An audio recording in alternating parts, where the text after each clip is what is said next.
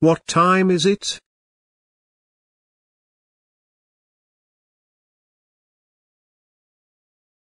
Oh f I forgot, it's morphing time.